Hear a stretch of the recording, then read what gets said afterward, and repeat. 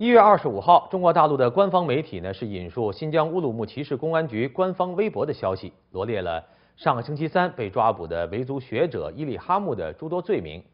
但是这些罪名呢都被伊里哈木的妻子一概否定。同时，海内外已经有超过一千六百人联署签名，要求北京当局能够释放伊里哈木。有关详细情况，让我们来看看下面的报道。大陆官媒纷纷援引新疆乌鲁木齐市公安局的官方微博消息说，中央民族大学教师伊利哈木土赫提与所谓境外东突势力勾结，利用课堂煽动推翻政府，形成了分裂国家的犯罪团伙。官方还指称，伊利哈木创办维吾尔在线网站，组织人员充当网站管理员和通讯员、信息员，借机制造事端，煽动民族仇恨，鼓吹新疆独立。官方罗列的这一系列罪名，显然让伊利哈木的妻子古赞努尔无法接受。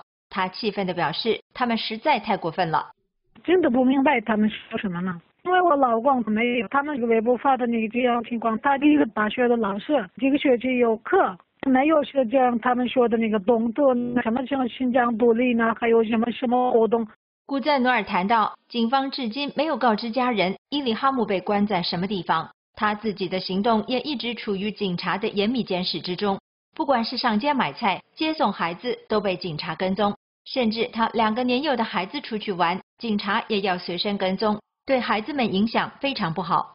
据报道，现年四十五岁的伊利哈木是北京中央民族大学的经济学副教授。二零零六年，他创办了维吾尔在线网站，成为外界了解新疆问题真实状况的重要窗口。伊利哈木批评北京当局。推行民族歧视，对宗教信仰和正常社会活动进行限制，加剧了新疆民族间矛盾。伊里哈木被大陆民间公认为是一位温和的学者，他反对新疆独立与任何暴力行为，还积极推动维汉两族之间的友好沟通，并寄希望于当局调整错误的新疆政策。但即使这样，伊里哈木仍然被当局视为危险人物，多次被拘留、软禁和骚扰。近来，新疆地区局势紧张，冲突不断。北京当局对新疆的维稳力度也不断升级。一月十五号下午，警察将伊利哈姆从北京家中带走，并进行了大规模抄家。我觉得，如果当局这次抓伊利哈姆，并把伊利哈姆真正投入牢狱的话，那么他实际上就是在继续点燃当地人反抗的火焰，或者说是火上浇油吧。北京社会活动家胡佳表示。像伊利哈姆这样持温和主张的人都遭到当局的打压，这会让维族人觉得越来越没有生存空间，没有出路。如果说伊利哈木也像新公民运动的那些人一样走入了司法程序，一步一步的被共产党放入牢狱的话，那么这整个过程的话，我们也要为他进行呼吁。这不是维吾尔族一个民族的问题。